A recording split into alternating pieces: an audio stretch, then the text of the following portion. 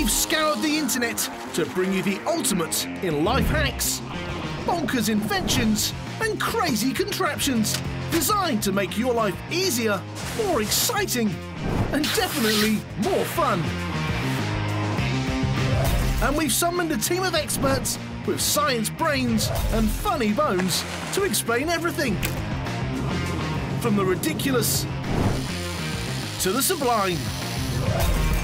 And make sure you strap in for the grand finale at our very own Hack HQ, where we create and construct an epic stunt, our very own supersized solutions to life's problems, big and small, with the help of Mike Sansom, pyrotechnician, chemist, and engineer, and his human guinea pigs, Marcus Bronzy and Stephen Grant. For now, sit back, relax, and put your feet up. Let us do the hard work so you don't have to. This is how hacks work. This episode is all about extreme transport, and we've put together a feast of hacks from all over the world to show you how to make getting from A to B a lot more fun. To me, this looks like one of those old fashioned tin space toys from the 1950s. It's awesome. We've got all the extreme transport advice you're ever going to need, from a gnarly way to travel in a flood to extreme excavator acrobatics. And in our epic hack, you'll be seeing how talking a lot of hot air really can give you some impressive results. What was it like driving that? It was absolutely insane.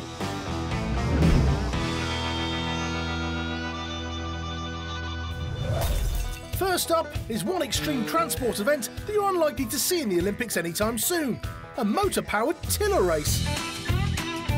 Our plucky competitors run, hop, or hang on for dear life whilst being propelled by some serious engine power.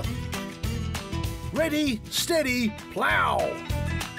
The thing about these tillers is they have these barbed legs which dig into the soil. And when you've got loose, rubbly soil, these sort of things are great for getting maximum traction. I mean, they're basically just like swords on wheels. Was that just a stab in the dark, Ali? There are obviously many factors that determine how quickly one of these things goes. One thing you could do to try and change your speed is change the size of the blades at the front. As you make those bigger and bigger, it's effectively like having a larger wheel. It means that you travel further for every revolution of the engine. But when you put a giant motor on this thing, you are going to fly.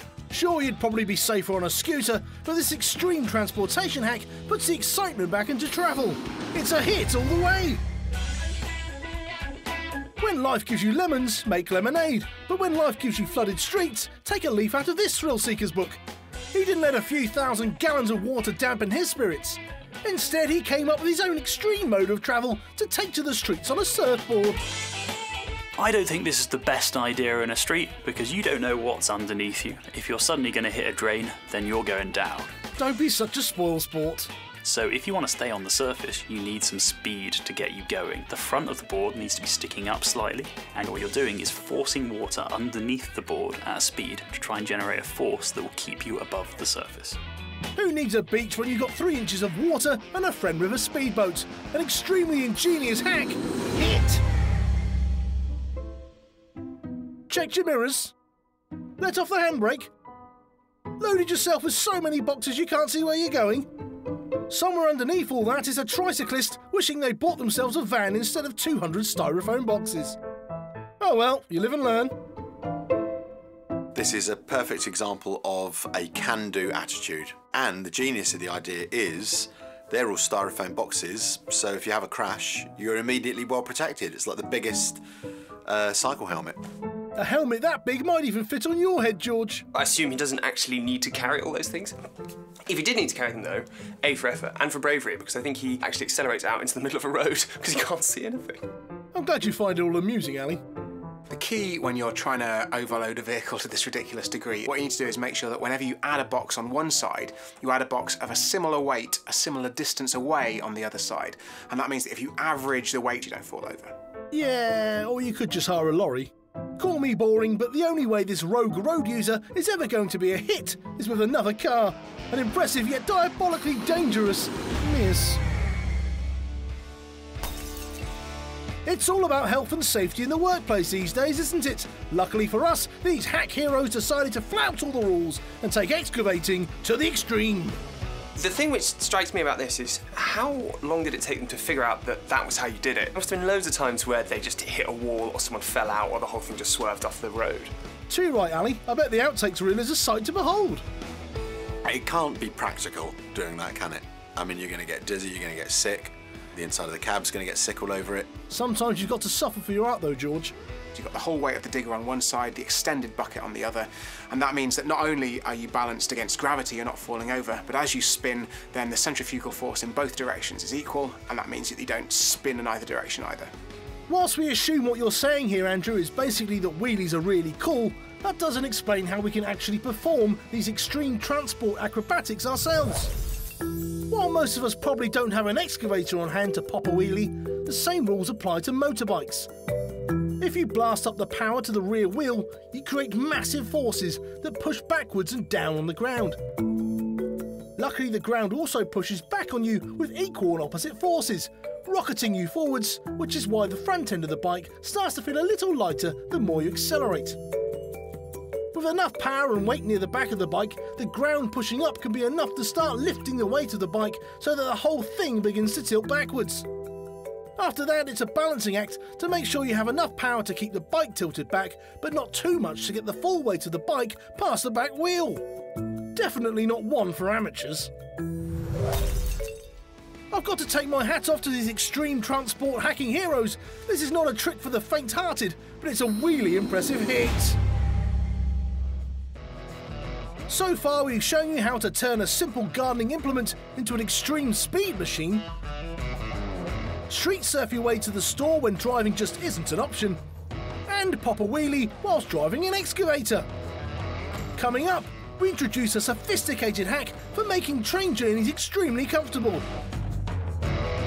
And a killer way to travel on water. All dream of buying a new car, but not many of us can afford to splash out on something top of the range. This high-tech hacker didn't let his budget stop him. Instead, he decided to build an extremely small yet perfectly formed car himself for a steal. Best of all, he'll also never have a problem parking again. To me, this looks like one of those old fashioned tin space toys from the 1950s. It's awesome. This hack relies on an internal combustion engine. These are the engines in traditional cars and they're powered by petrol or diesel. In an internal combustion engine, the fuel is sucked into a chamber. It's then compressed and exploded, and this explosion pushes a force onto a piston, and the force of that piston can then drive crankshaft mechanisms to drive the car forward. A few difficulties when miniaturizing engines is they tend to get very hot, and also you tend to generate less power from a smaller engine. So when you condense it all down, you have to have very sophisticated ways of cooling things down and getting the air into the engine so it can keep turning. This guy clearly has nailed it. Thanks to this compact yet classic speedster, this guy will never have to give his friends a lift again. And I bet it's cheap on petrol too. An absolute smash of a hit. Ever seen a killer whale gracefully slicing through the water and thought, I wish I could do that? Well, our next extreme transport hacker turned that dream into a reality by building his very own motor-powered killer whale. It really reminded me of the fish-shaped submarines in the series Stingray that I used to watch when I was a kid. Imagine having one of these to play around with. Yeah, it'd be a bit of a step up from a yo-yo, wouldn't it? It would be a great uh, vehicle to turn up on a first date. Say, I'll meet you by the docks. How will I know it's you? You'll know. You'll know it's me. Yeah, unless it actually ends up terrifying said date to death. You can see that its tail is fixed here, and in fact it's fixed so much that it hydroplanes a little bit, which is when you basically form a hydrofoil in the water. A killer whale would be moving its tail, and that would create the drive um, through pressure waves being pushed through the water, whereas this clearly has a propeller somewhere. Most of us know what a propeller is, but how about an impeller? Got your head spinning? Well, let's try and clear things up for you then. If you're up for some watery shenanigans, you'll be needing an engine cutout for your turbocharged aquatic adventures. Your best bet is a pump jet. Unlike a traditional propeller used to move air, this type of engine uses a much smaller and compacted version called an impeller. Like a fan, its angled arms scoop water and smash it backwards to create a thrust. And by putting your impeller in a case, all that water is channeled into an even smaller tube, making it travel even faster. But the impeller's talents don't end there, as this system also creates a suction effect, a lot like a vacuum cleaner, drawing in more water to make the water jet out of the back even faster. This thing moves impressively fast. Apparently it can do 60 miles an hour above the water and 40 miles an hour beneath. And obviously that's quick enough that if you suddenly pull up, you've got the momentum to just jump out of the water and breach like a real killer whale. With transport that looks this good, you're bound to have a whale of a time. A sub-aqua hack hit! Not all extreme travel hacks can be as easy on the eye and streamlined as the last one. Some of them quite simply look like massive can openers on wheels. It feels like they've found some sort of old discarded uh, moon lander and they've just kind of bodged it into a working car. Imagine what the aliens in the back must be wondering. This is a case of a fan powered car, and generally speaking, you only see these on boats because on a boat you've got less friction to contend with than you do with the wheels of a car and the weight of a car. So, while this is a great idea, it might not be fantastic if you're looking to go anywhere quick. It's got that sort of spiky nose cone, and that's originally done to basically decrease uh, wind resistance, right? So things are more aerodynamic. But actually, interestingly, the most aerodynamic shape for passing through air is actually a teardrop. So if they had designed it like that, I would have a lot more respect for them. This hack loses too many points for presentation. Sure, you get somewhere quickly, but you'd probably be laughed out of the parking lot. This is a resounding miss.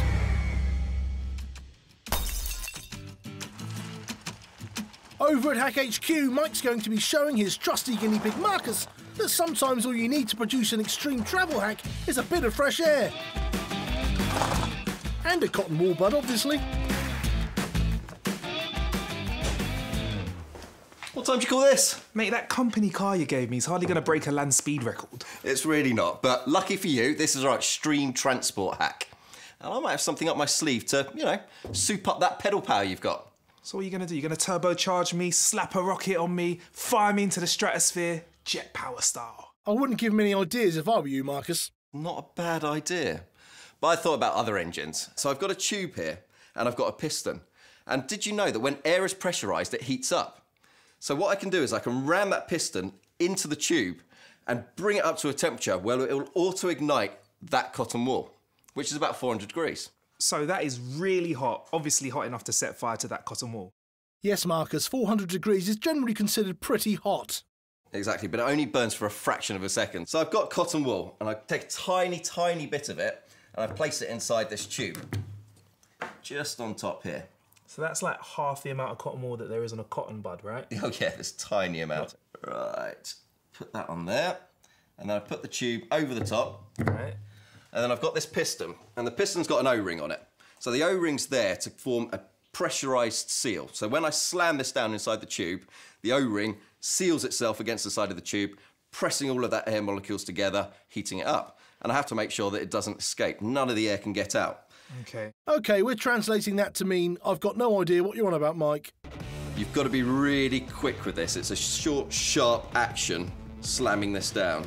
So you ready for it?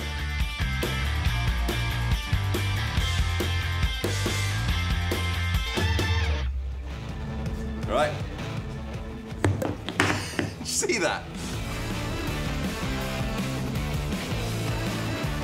I mean, it flashed for a fraction of a second, but it looks amazing. So that's nuts. So just using air pressure, you managed to reach a temperature of 400 degrees well, and set fire to that. Well over 400 degrees. And this is exactly how a diesel engine works. The piston slams down inside the cylinder, causing all of those air molecules to heat up, auto-igniting the diesel, and it slams it back up, cranking the engine. Now this happens at about 400 times a minute in a single cylinder. So if you think you've got six cylinders in there or more, it's happening really quickly. So you're going to make a massive see-through diesel engine, put gallons of diesel in it and fire me off, right? Well, I was going to, but I quite like your jet engine idea.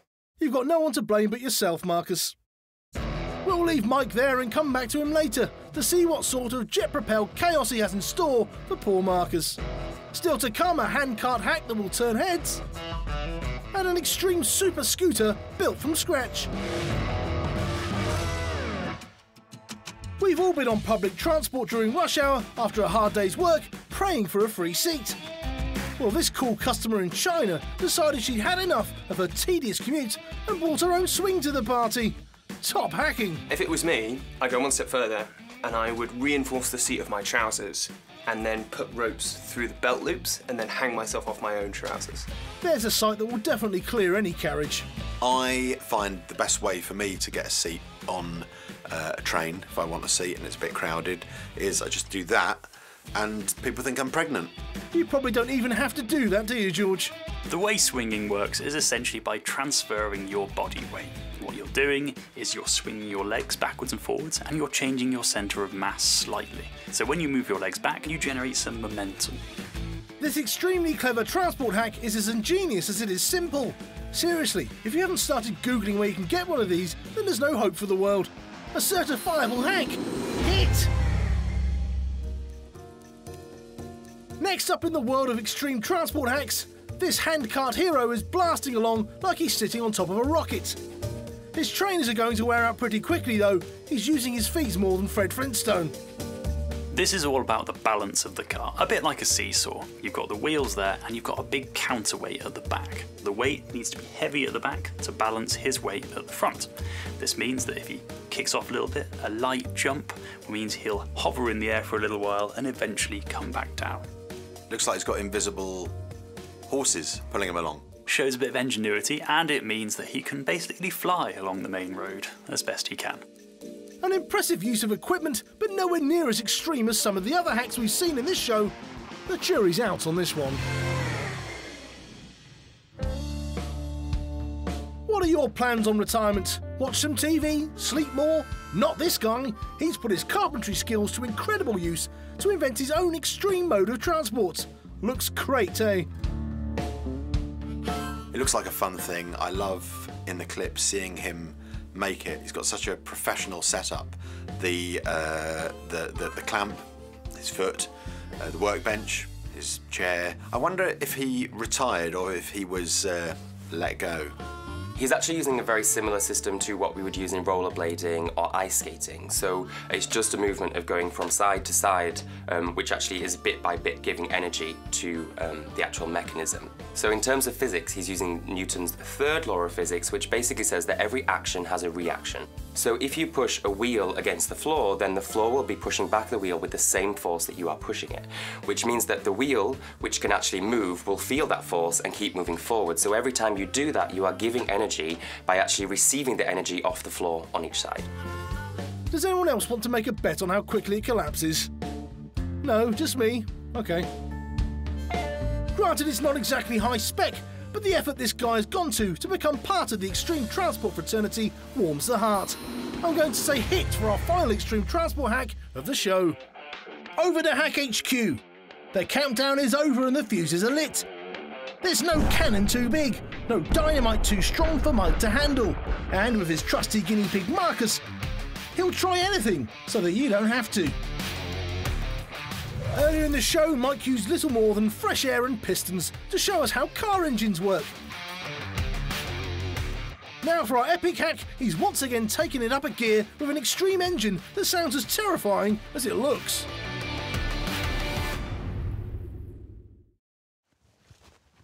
Is this? This is my jet-powered go-kart.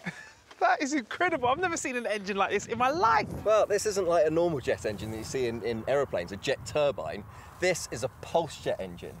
And it is loud. So how does it work? Right, so you've got a combustion chamber, the bigger bit in it, and then you've got a feed of propane gas, so this is the fuel.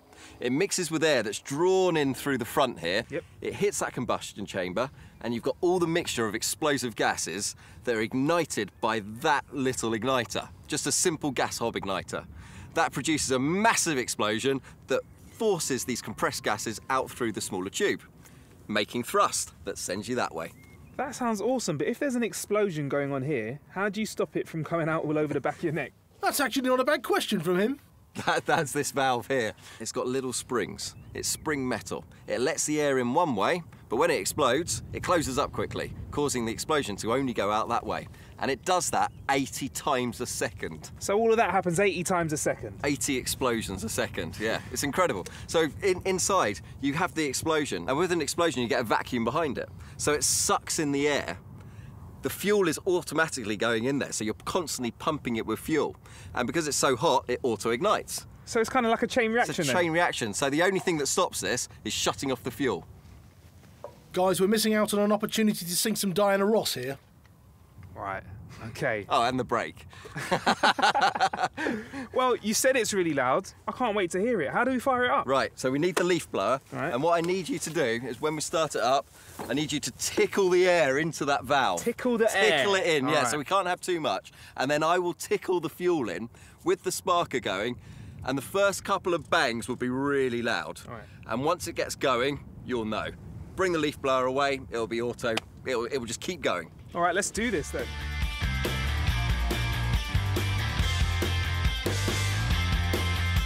Let's do it. Right. Right, started that. Thank you very much. Right, so if you just stay here, tickling that in.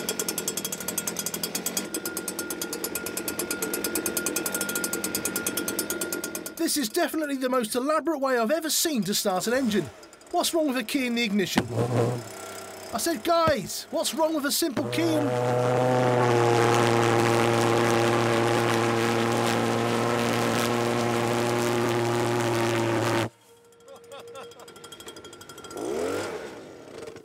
See what I mean? Loud. That was loud. Is Marcus just repeating, Mike, or has he actually gone deaf? And it gets really hot. You can feel that heat radiating off of it. yeah, I feel like I get a tan off it. So what we've got to do is start it up. It's quite difficult to start up. When it's started and it gets hot, then I'll throttle it up. But if I jump in, you've got to jump in because I've set a cone over there and it's a race. All right, so you're going to give me a little bit of a head start then, right? Maybe. All right, fair enough. Let's do it. Right. And they're off.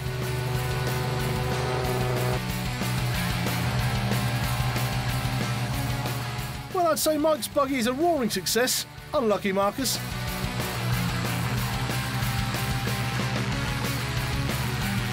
Looks like Marcus isn't the only one who's terrified of being flame grilled by Mike's new hot rod.